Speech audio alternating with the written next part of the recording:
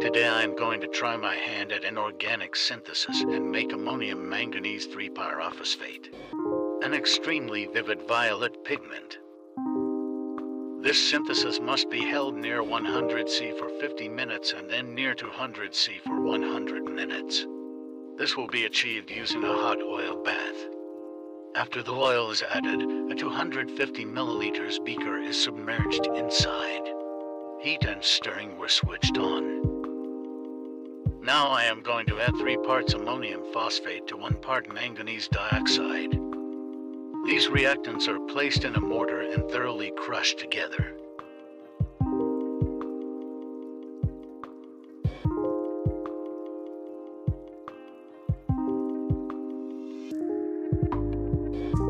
The reactants are now transferred to our reaction beaker, along with another 3 parts 90% phosphoric acid.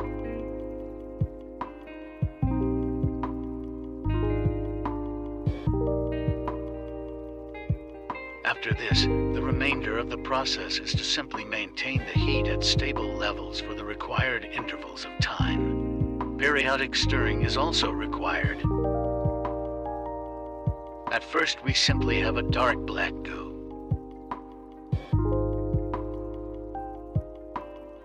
At 75 C, you begin to see faint bubbling.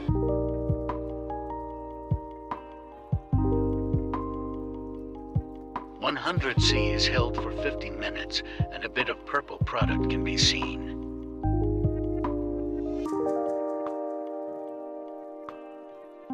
As we approach our final temperature, the bubbling gets more extreme.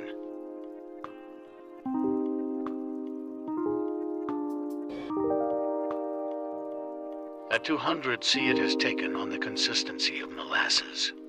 This is the consistency of hot pyrophosphates.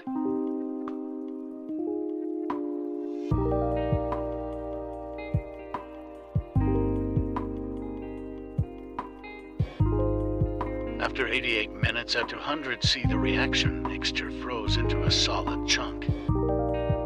This can be fixed by adding more phosphoric acid, but I feel the reaction is done anyway. Reaction vessel is pulled out of the oil and allowed to cool. This is going to have two be to parts. Follow to see the final product. Now that my reaction has cooled down, I am going to dissolve, purify, and dry my product. Pyrophosphates react with water to form soluble phosphates, which should free our pigment from this solid brick. As it dissolves, the violet color becomes increasingly pronounced. I admit scraping it off the sides is quite tedious. Eventually, I just put it on the hot plate to stir.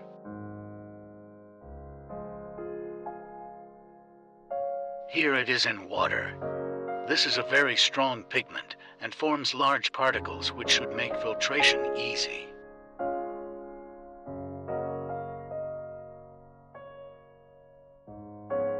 Color index for this pigment is PV16 for you artists out there. Finally, I just need to vacuum filter my pigment. I'm using a very small Buchner funnel for this in order to form thick slabs of the pigment.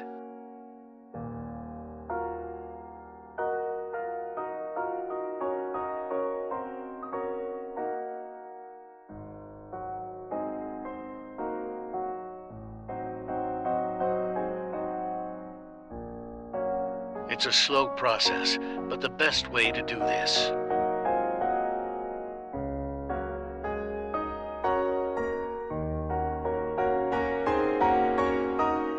Finally, I've got a solid chunk of manganese violet.